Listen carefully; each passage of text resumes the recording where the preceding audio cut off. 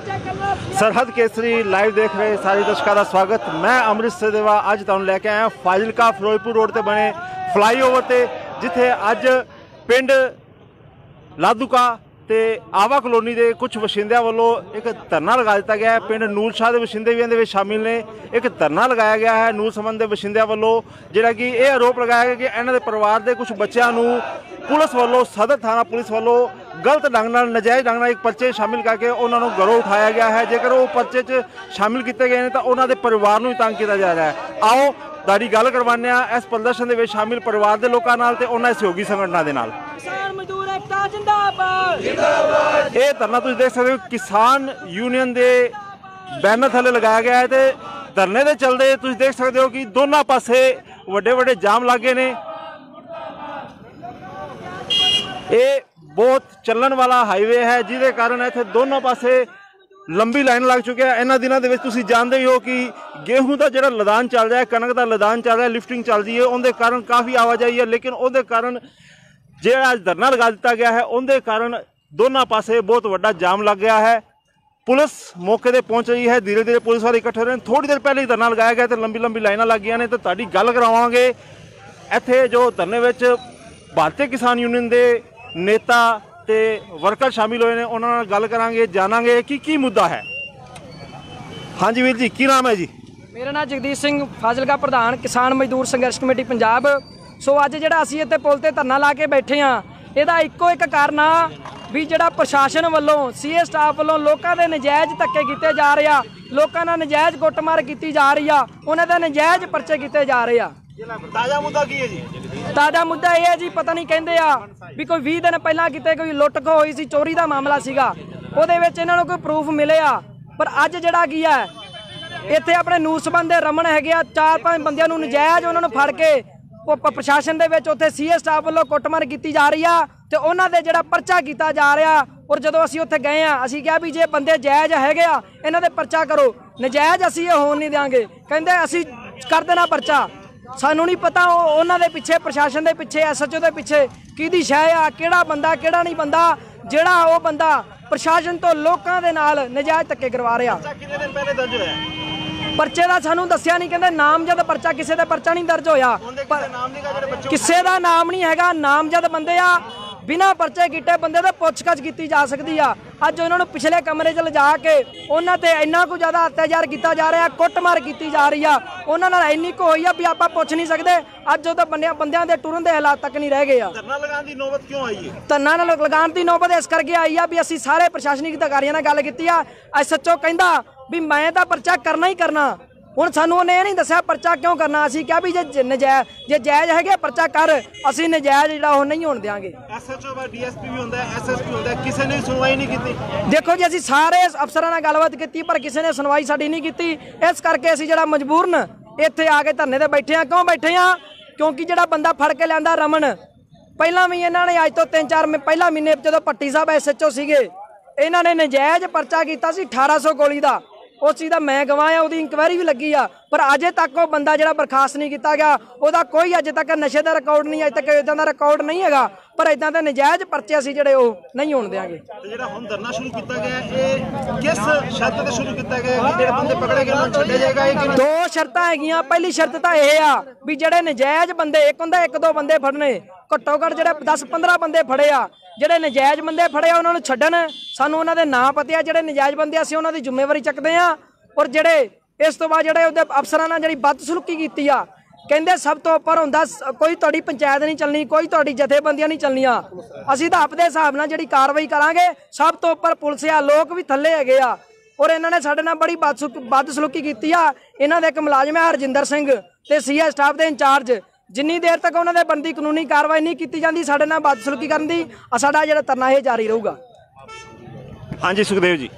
Sir ਇਦਾਂ ਜੋ ਕਿ ਅੱਜ ਸਵੇਰ ਦੀ ਗੱਲ ਹੈ ਮੈਂ ਘਰੇ ਸੀ। ਮੈਨੂੰ ਫੋਨ ਆਇਆ ਸੀ ਕਿ ਚਾਚੇ ਜੀ ਦਾ ਮੁੰਡਾ ਹੈ ਜੀ। ਸਾਰੇ ਬਹਿ ਜਾਓ ਯਾਰ ਬਹਿ ਜਾਓ। ਕਰਨ ਜੀ ਕਿ ਉਹਨੂੰ ਸੀਆ ਸਟਾਫ ਚੱਕ ਕੇ ਲੈ ਗਈ ਪੁਲਿਸ ਜੀ।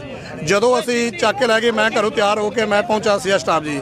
ਜਦੋਂ ਅਸੀਂ ਪਿੱਛੇ ਇਹਨਾਂ ਨੂੰ ਪੁਲਿਸ ਬਹੁਤ ਕੁੱਟ ਮਾਰ ਰਹੀ ਸੀ ਜਿਹੜੇ 6-7 ਬੰਦਿਆਂ ਨੂੰ ਪੁਲਿਸ ਨੇ ਬਹੁਤ ਕੁੱਟਿਆ ਹੈ। ਜਦੋਂ ਉਹਨਾਂ ਦੇ ਇੱਕ ਮੁਲਾਜ਼ਮ ਆਇਆ ਸੀਗਾ, ਯਾਰ ਉਹਨੂੰ ਮਿਲਣਾ ਹੈਗਾ ਕਹਿੰਦੇ, ਨਹੀਂ, ਉਹਨਾਂ ਮਿਲਣ ਨਹੀਂ ਦੇਣਾ। ਐਸਐਚਓ ਕਹਿੰਦੇ, ਬਹੁਤ ਸਖਤ ਹੈਗਾ ਜੀ। ਕਹਿੰਦਾ, ਉਹਦੇ ਕੋਲ ਪਾਵਰ ਹੀ ਇੰਨੀ ਹੈ ਕਿ ਕਿਸੇ ਨੂੰ ਮਿਲਣ ਨਹੀਂ ਦੇਣਾ ਜੀ। ਮੈਂ ਕਿਹਾ, ਚਲੋ ਠੀਕ ਹੈ ਜੀ। ਫਿਰ ਦੁਬਾਰਾ ਜਦੋਂ ਐਸਐਚਓ ਬਾਹਰ ਆਇਆ, ਕਹਿੰਦਾ, ਇਹਨਾਂ ਤੇ ਪਰਚਾ ਦੇ ਦਿੱਤਾ ਹੈ। ਮੈਂ ਕਿਹਾ, ਪਰਚਾ ਕਿਸ ਚੀਜ਼ ਦਾ ਦਿੱਤਾ ਹੈ? ਕਹਿੰਦਾ, ਇਸ ਤਰ੍ਹਾਂ ਇਹਨਾਂ ਨੇ ਲੁੱਟ ਖੋਹ ਕੀਤੀ ਹੈ। ਮੈਂ ਕਿਹਾ, ਜੇ ਲੁੱਟ ਖੋਹ ਕੀਤੀ ਬਾਈ ਨਾਮ ਹੈ? ਕਹਿੰਦਾ ਬਾਈ ਨਾਮ ਨਹੀਂ ਹੈਗਾ, ਇਹ ਸੀਸੀ ਕੈਮਰੇ 'ਚ ਆਈ ਹੈ ਫੋਟੋਆਂ। ਮੈਂ ਐਸਐਚਓ ਨਾਲ ਇਹ ਗੱਲ ਕੀਤੀ ਹੈ, ਜੇ ਅਗਰ ਸੀਸੀਟੀ ਕੈਮਰੇ ਦੇ ਵਿੱਚ ਫੋਟੋ ਆਈ ਹੈ, ਇਹ ਬੰਦਾ ਮੇਰਾ ਛੋਟਾ ਜਿਹੜਾ ਬ੍ਰਦਰ ਹੈਗਾ ਜਾਂ ਆਪਣੇ ਰਮਨ ਹੈਗਾ ਜੇ ਫੋਟੋ ਦੇ ਵਿੱਚ ਹੈਗਾ, ਤੁਸੀਂ ਪਰਚਾ ਦੇ ਦਿਓ, ਇਹ ਖੁਦ ਆ ਪਰਚਾ ਇਹਨਾਂ ਨੂੰ ਬੈਠ ਕੇ ਕਰਾ ਦਿਆਂਗੇ ਜੀ।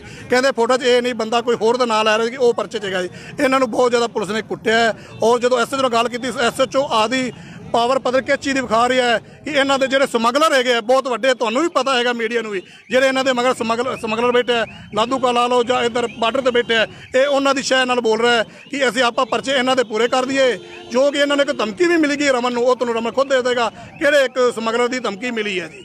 ਉਹ ਪਰਿਵਾਰ ਇੱਥੇ ਸ਼ਾਮਿਲ ਹੈ ਜਿਨ੍ਹਾਂ ਦੇ ਬੱਚਿਆਂ ਨੂੰ ਉਠਾਇਆ ਗਿਆ ਹੈ? ਹਾਂਜੀ ਬਿਲਕੁਲ ਸ਼ਾਮਲ ਹੈ ਜੀ ਇਹ ਖੁਦ ਬੈਠੇ ਆ ਜੀ ਉਹ ਪਿੱਛੇ ਐਂਟੀ ਬੈਠੇ ਆ ਜੀ ਉਹ ਪਰਿਵਾਰ ਸ਼ਾਮਲ ਹੈ ਜੀ ਇੱਥੇ ਬੈਠੇ ਆ ਜੀ। ਉਹਨਾਂ ਪਰਿਵਾਰਾਂ ਨਾਲ ਗੱਲ ਕਰਨ ਦੀ ਕੋਸ਼ਿਸ਼ ਕਰਾਂਗੇ ਜਿਨ੍ਹਾਂ ਦੇ ਨੌਜਵਾਨਾਂ ਨੂੰ ਪੁਲਿਸ ਨੇ ਗ੍ਰਿਫਤਾਰ ਕੀਤਾ ਹੈ। ਹਾਂਜੀ ਕੀ ਨਾਮ ਹੈ ਜੀ? ਬਲਵਿੰਦਰ ਸਿੰਘ ਜੀ। ਬਲਵਿੰਦਰ ਜੀ ਕਿਹਨੂੰ ਗ੍ਰਿਫਤਾਰ ਕੀਤਾ ਗਿਆ ਹੈ? ਇਹ ਜੋ ਪੰਜਾਬ ਪੁਲਿਸ ਸੀਏ ਸਟਾਫ ਦੇ ਇੰਚਾਰਜ ਹਨ ਜੀ ਇਹਨਾਂ ਸਵੇਰੇ ਸ- ਤਕਰੀਬਨ 5 ਵਜੇ ਰੇਡ ਕੀਤੀ ਮੇਰੇ ਘਰੇ ਜਾ ਕੇ। ਕਿਉਂਕਿ ਰਮਨ ਜੋ ਮੇਰਾ ਭਤੀਜਾ ਸੀ ਉਹਦੇ ਅੱਗੇ ਘਰ ਸੀ ਤਾਂ ਮੈਂ ਇਹਨਾਂ ਨੂੰ ਪੁੱਛਿਆ ਪੂਰੇ ਸਟਾਫ ਨੂੰ ਵੀ ਤੁਸੀਂ ਕਿਸ ਵਾਸਤੇ ਆਏ ਜੇ? ਉਹ ਕਹਿੰਦੇ ਅਸੀਂ ਰਮਨ ਨਾਲ ਕੋਈ ਗੱਲਬਾਤ ਕਰਨੀ ਹੈ। ਮੈਂ ਕਿਹਾ ਚਲੋ ਮੈਂ ਤੁਹਾਡੇ ਨਾਲ ਚੱਲਦਾ ਜਦੋਂ ਮੈਂ ਇਹਨਾਂ ਦੇ ਨਾਲ ਗਿਆ, ਮੈਂ ਕਿਹਾ, ਮਾਮਲਾ ਦੱਸੋ। ਉਹ ਕਹਿੰਦੇ ਬੈ ਤਾਂ, ਚੋਰੀ ਦਾ ਕੋਈ ਮਾਮਲਾ ਹੈ? ਤੇ ਰਮਨ, ਅਸੀਂ ਫੋਟੋ ਵਿਖਾਉਣੀਆਂ ਨੇ। ਜਦੋਂ ਰਮਨ ਨੂੰ ਫੋਟੋਆਂ ਵਿਖਾਈਆਂ ਗਈਆਂ, ਤਾਂ ਰਮਨ ਕਹਿੰਦੇ ਬੰਦੇ ਮੈਂ ਜਾਣਦਾ ਜ਼ਰੂਰ ਹਾਂ। ਤਾਂ ਇਹ ਉੱਥੋਂ ਦਾ ਜਿਹੜਾ ਇੰਚਾਰਜ ਚੌਕੀ, ਉਹ ਕਹਿੰਦਾ ਵੀ ਤੁਸੀਂ ਮੈਨੂੰ ਨਾਲ, ਮੇਰੇ ਨਾਲ ਚੱਲੋ, ਮੈਨੂੰ ਇਹ ਬੰਦਿਆਂ ਦੇ ਘਰ ਵਾ- ਦਿਖਾਓ। ਪਰ ਮੈਂ ਕਿਹਾ, ਨਹੀਂ, ਜਨਾਬ ਜੀ, ਅਸੀਂ ਖੁਦ ਕਿਸਾਨ ਮਜ਼ਦੂਰ ਸਰਚ ਕਮੇਟੀ ਦੇ ਇਕਾਈ ਪ੍ਰਧਾਨ ਹੈ। ਅਸੀਂ ਜ਼ਿੰਮੇਵਾਰੀ ਲੈਂਦੇ ਹਾਂ ਕਿ ਅਗਰ ਤੁਸੀਂ 10 ਵਜੇ ਦਾ ਸਾਨੂੰ ਟਾਈਮ ਦੇ ਦਿਓ, ਅਸੀਂ ਰਮਨ ਕੁਮਾਰ ਨੂੰ ਲੈ ਕੇ ਖੁਦ ਅਸੀਂ ਆਵਾਂਗੇ, ਕਿਉਂਕਿ ਸਾਨੂੰ ਪੁਲਿਸ ਤੇ ਕੋਈ ਯਕੀਨ ਨਹੀਂ ਰਹਿ ਗਿਆ। ਕਿਉਂਕਿ ਰਮਨ ਨੂੰ ਪਿਛਲੇ 2 ਮਹੀਨੇ ਜੋ ਕਿ ਸੀਓ ਸਟਾਫ ਦੇ ਪੱਟੀ ਇੰਸਪੈਕਟਰ ਸੀ, ਉਹਨੇ ਨਜਾਇਜ਼ 1800 ਦੀ ਗੋਲੀ ਪਵਾਈ ਗਈ। ਔਰ ਜਦੋਂ ਅਸੀਂ ਇੱਥੋਂ ਦੇ ਐਸਐਚਓ ਨਾਲ ਗੱਲ ਕਰਦੇ ਹਾਂ, ਤਾਂ ਉਹ ਸਾਨੂੰ ਇੱਕੋ ਕਹਿੰਦੇ, ਸਾਨੂੰ ਉਤੋਂ ਦਬਦਬਾ ਹੁੰਦਾ ਹੈ। ਅਸੀਂ ਮਜਬੂਰ ਨੇ ਨਾ ਤੇ ਸਾਨੂੰ ਪਰਚੇ ਕਰਨੇ ਪੈਂਦੇ ਨੇ। ਹੁਣ ਉਹ ਦਬਦਬਾ ਕਿੰਦਾ ਹੈ? ਅਸੀਂ ਕਿਹਾ ਸੀ, ਇਸ ਵਿਸ਼ਵਾਸ ਤੇ ਸਾਨੂੰ ਪੁਲਿਸ ਤੋਂ ਬਿਲਕੁਲ ਵਿਸ਼ਵਾਸ ਨਹੀਂ। ਅਸੀਂ ਰਮਨ ਕੁਮਾਰ ਨੂੰ ਨਹੀਂ ਜਾਣ ਦੇਣਾ। ਕਰੀਬਨ 3 ਘੰਟੇ ਤੋਂ ਇਹ ਬਹਿਸ ਚੱਲਦੀ ਰਹੀ। ਆਖਰਕਾਰ ਪੁਲਿਸ ਨੇ ਇਸ ਚੀਜ਼ ਤੇ ਉਹਨੂੰ ਫੜ ਕੇ ਲਿਆਂਦਾ ਕਿ ਤੁਹਾਡਾ ਬੰਦਾ ਸਿਰਫ ਅਸੀਂ ਵੈਰੀਫਾਈ ਕਰਨ ਵਾਸਤੇ ਲੈ ਕੇ ਜਾ ਰਹੇ ਹਾਂ। ਪਰ ਜਦੋਂ ਅਸੀਂ ਇੱਥੇ ਪਹੁੰਚੇ ਤਾਂ ਸਾਡੇ ਬੰਦੇ ਨੂੰ ਬੈਕ ਜਾ ਕੇ ਉੱਥੇ ਕੁੱਟਮਾਰ ਕਰਕੇ ਜ਼ਬਰਦਸਤੀ ਮਾਰਾ ਕੁੱਟਿਆ ਜਾ ਰਿਹਾ ਹੈ ਔਰ ਉਸ ਤੋਂ ਨਜਾਇਜ਼ ਪਰਚੇ ਕੀਤੇ ਜਾ ਰਹੇ ਨੇ। ਜਦੋਂ ਸਾਡੇ ਜ਼ਿਲ੍ਹਾ ਪ੍ਰਧਾਨ ਨੇ ਜਾ ਕੇ ਉਹਨਾਂ ਨਾਲ ਗੱਲਬਾਤ ਕੀਤੀ ਤਾਂ ਉੱਥੋਂ ਦਾ ਪ੍ਰਸ਼ਾਸਨ ਕਹਿੰਦਾ ਹੈ, ਜਥੇਬੰਦੀਆਂ ਕੁਝ ਵੀ ਨਹੀਂ ਹੈ, ਪੰਚਾਇਤ ਕੁਝ ਵੀ ਨਹੀਂ ਕਿਉਂਕਿ ਪੰਚਾਇਤ ਵੀ ਵਿੱਚ ਬੈਠੀ ਹੈ, ਮੌਜੂਦਾ ਪਿੰਡ ਦਾ ਸਰਪੰਚ ਵੀ ਬੈਠਾ ਹੈ। ਤੋ ਸੋ ਜੇ ਤੂੰ ਜਿਹੜਾ ਪ੍ਰਸ਼ਾਸਨ ਹੈ ਉਹ ਬਦਤਮੀਜੀ ਨਾਲ ਬੋਲਿਆ।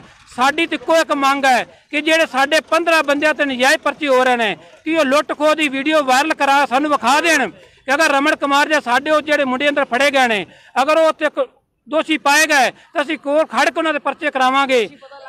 ਹਾਂ ਪਰ ਉਹਨਾਂ ਕਰ ਰੇਡ ਵੀ ਨਹੀਂ ਮਾਰੀ ਔਰ ਨਜਾਇਜ਼ ਮੁੰਡੇ ਚੱਕ ਕੇ ਉਹਨਾਂ ਤੇ ਜੋ ਇਸ ਟਾਈਮ ਕਾਨੂੰਨੀ ਕਾਰਵਾਈ ਕੀਤੀ ਜਾ ਰਹੀ ਹੈ ਅਸੀਂ ਇਹਦੀ ਨਿੰਦਾ ਕਰਦੇ ਹਾਂ।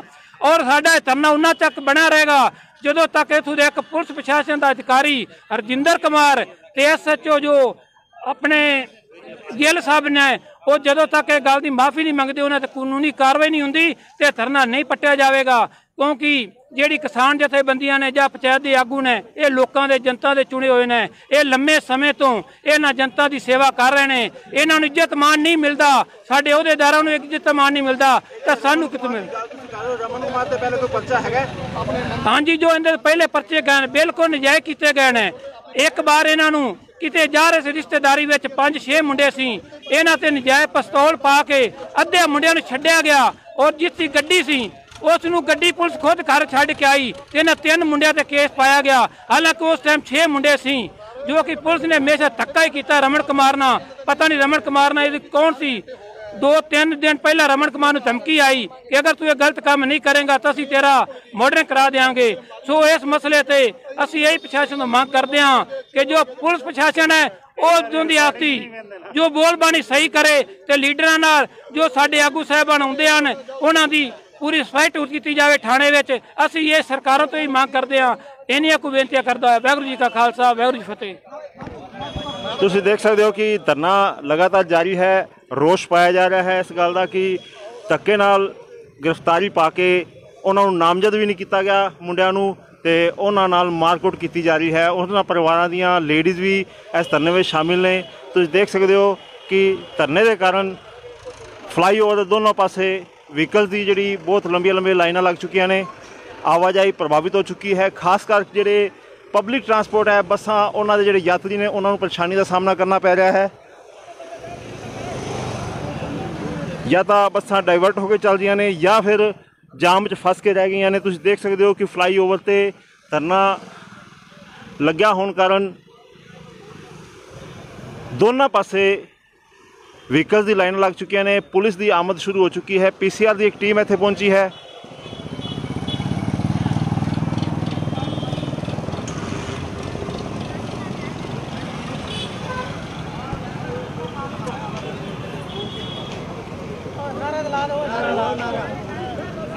ਕਿਸਾਨ ਮਜ਼ਦੂਰ ਸੰਘਰਸ਼ ਕਮੇਟੀ। ਜਿੰਦਾਬਾਦ ਦੇ ਹੱਕ ਵਿੱਚ ਲੜਨ ਵਾਲੀ ਕਮੇਟੀ ਜਿੰਦਾਬਾਦ ਜਿੰਦਾਬਾਦ ਮੁਰਦਾਬਾਦ ਮੁਰਦਾਬਾਦ ਮੁਰਦਾਬਾਦ ਪੁਲਿਸ ਪ੍ਰਸ਼ਾਸਨ ਮੁਰਦਾਬਾਦ ਮੁਰਦਾਬਾਦ ਮੁਰਦਾਬਾਦ ਪੁਲਿਸ ਪ੍ਰਸ਼ਾਸਨ ਮੁਰਦਾਬਾਦ ਮੁਰਦਾਬਾਦ ਮੁਰਦਾਬਾਦ ਕਿਸਾਨ ਮਜ਼ਦੂਰ ਸੰਘਰਸ਼ ਕਮੇਟੀ ਜਿੰਦਾਬਾਦ ਜਿੰਦਾਬਾਦ ਜਿੰਦਾਬਾਦ ਨਜਾਇਜ਼ ਪਰਚੇ ਵਾਪਸ ਲਓ ਵਾਪਸ ਲਓ ਵਾਪਸ ਲਓ ਨਜਾਇਜ਼ ਪਰਚੇ ਵਾਪਸ ਲਓ ਵਾਪਸ ਲਓ ਵਾਪਸ ਲਓ ਪੰਜਾਬ ਪੁਲਿਸ ਕੋਲ ਪਾਣੀ ਸਹੀ ਕਰੇ ਸਹੀ ਕਰੇ ਸਹੀ ਕਰੇ ਪੰਜਾਬ ਪੁਲਿਸ ਕੋਲ ਪਾਣੀ ਸਹੀ ਕਰੇ ਸਹੀ ਕਰੇ ਸਹੀ ਕਰੇ ਤੁਸੀਂ ਦੇਖ ਸਕਦੇ ਹੋ ਕਿ ਪ੍ਰਦਰਸ਼ਨਕਾਰੀ ਸੰਖਿਆ ਵਿੱਚ ਭਲੇ ਹੀ ਘੱਟ ਨੇ, ਲੇਕਿਨ ਰਸਤਾ ਪੂਰੀ ਤਰ੍ਹਾਂ ਜਾਮ ਕਰ ਚੁੱਕੇ ਨੇ ਤੇ ਪੁਲਿਸ ਪ੍ਰਸ਼ਾਸਨ ਤੋਂ ਇਲਾਵਾ ਹੋਰ ਏਜੰਸੀਆਂ ਦੇ ਜਿਹੜੇ ਨੁਮਾਇੰਦੇ ਨੇ, ਉਹ ਵੀ ਇੱਥੇ ਪਹੁੰਚ ਚੁੱਕੇ ਨੇ ਤੇ ਇਸ ਧਰਨੇ ਦੀ ਰਿਪੋਰਟ ਹੋਣੀ ਸ਼ੁਰੂ ਹੋ ਗਈ ਹੈ। ਦੇਖਿਆ ਜਾ- ਜਾਏਗਾ ਕਿ ਕਿੰਨੀ ਦੇਰ 'ਚ ਪੁਲਿਸ ਦੇ ਉੱਚ ਅਧਿਕਾਰੀ ਇੱਥੇ ਆ ਕੇ ਇਸ ਪ੍ਰਦਰਸ਼ਨਕਾਰੀਆਂ ਨਾਲ ਗੱਲਬਾਤ ਕਰਦੇ ਨੇ ਤੇ ਇਹ ਧਰਨਾ ਸਮਾਪਤ ਕਰਵਾਉਂਦੇ ਨੇ, ਕਿਉਂਕਿ ਜੇ ਧਰਨਾ ਜ਼ਿਆਦਾ ਲੰਬਾ ਚੱਲੇਗਾ ਤੇ ਉਹਦੇ ਕਾਰਨ ਜਿਹੜੀ ਆਵਾਜਾਈ ਹੋਰ ਜ਼ਿਆਦਾ ਪ੍ਰਭਾਵਿਤ ਹੋਏਗੀ ਤੇ ਲੋਕਾਂ ਨੂੰ ਪਰੇਸ਼ਾਨੀ ਦਾ ਸਾਹਮਣਾ ਕਰਨਾ ਪੈ ਸਕਦਾ ਹੈ। ਤਾਂ ਐਸੇ ਤਰੀਕੇ ਦੀ ਅਪਡੇਟ ਲਈ ਬਣੇ ਰਹੋ ਸਰਹਦ ਕੇਸੀ ਦੇ ਨਾਲ। ਧੰਨਵਾਦ।